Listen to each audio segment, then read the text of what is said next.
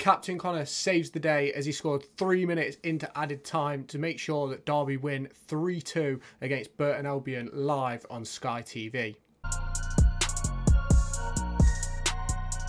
It's a game where Derby will have felt that they should have been much more comfortable, finding themselves 1 0 up late on in the first half and scoring early in the second. They'll have wanted to see the game out. Unfortunately, they decided that the performance was going to drop off and they just couldn't fi find the levels for about 10 minutes in the game. That led to Burton scoring twice and bringing themselves back on level terms. Joe Hugill, on his first appearance for Burton Albion, scored a really nice goal beating Josh Vickers when he was one on one. I'm not particularly convinced by Josh Vickers, especially after tonight's performance. Callum Elder, again, not 100% my cup of tea right now. Elder on the halfway line for the second goal commits to win the ball, and there's absolutely no reason why he should commit. He needs to make sure that his runner doesn't get the ball first, and he misses the ball, man's through one on one, and there's nothing that Vickers can really do. I can't blame him for that second goal, but for the first one, I felt it was telegraphed where the ball was going to go. Curtis Nelson was showing him inside, showing him inside, but Vickers just couldn't quite step enough and dive enough to get the ball away from the goal. But let's talk about the first half. Derby were majorly in control. Didn't really feel any danger from Burton. They had a couple of moments, but nothing really major. And uh, Nathaniel Mendez-Laing breaks away late on in the first half, squares it across to Tom Barkhuizen, who puts the ball away. Tom Barkhuizen I don't think he had a great game, but he comes away with man of the match from Derby. I think he got a goal and an assist, although I didn't think he did much other than that. And obviously, goals and assists change games, so it's massively important, and that's probably why Paul Warne kept him on the pitch. Obviously, late on, Conor Hourihane scored in the second half. Both of the Burton goals came within probably a 10 50 minute period where Derby just decided they just didn't want to play football. It just got really sloppy and as much as you can say the way we won tonight not being at our best it's just one of them where you don't want it's not a champions win it's a disappointing poor performance. But we've come away with three points and that's all down to Conor Hourihane at the end of the day. Brilliant finish late on in the game keeper just couldn't quite read the flight of the ball and it just nestled in the bottom corner as he wheeled away in celebration. It was, it was just, there's not much to really say about the game because first half we was in control, second half we scored early and then just stopped playing, and it was just a bit odd. It was just one of them games where you're just not 100% sure what's going to happen. But Burton their new manager will be absolutely delighted with that performance, in my opinion. From what I saw from them, I don't think they'll be in the bottom four. I don't think they'll even be struggling with relegation towards the end of the season.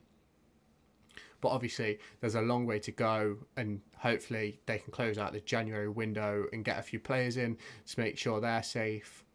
Obviously, nothing else has happened with Corey Blackett Taylor, but I think Derby definitely need that. I felt like the options off the bench, we had Dajaune Brown, Joe Ward, Louis Sibley, Liam Thompson, Tyrese Fornah, I just did, and Sonny Bradley, and obviously goalkeeper Wildsmith. I just felt like we didn't really have a proper forward, a proper winger who we could bring on to replace any of the front three or four.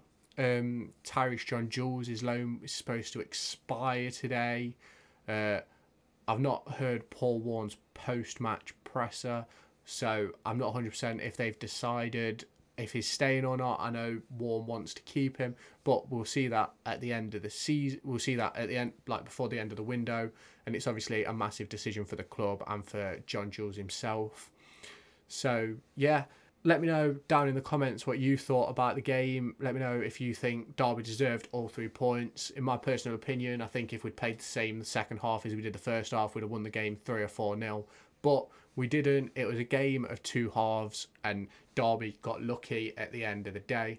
They find themselves in third position, level on points with second place, and I believe they're only two points behind Portsmouth with a game in hand. Make sure you subscribe to the channel, keep your eyes peeled for the next video. I'll be previewing the upcoming matches and there'll be a few Formula One videos out in the coming days. So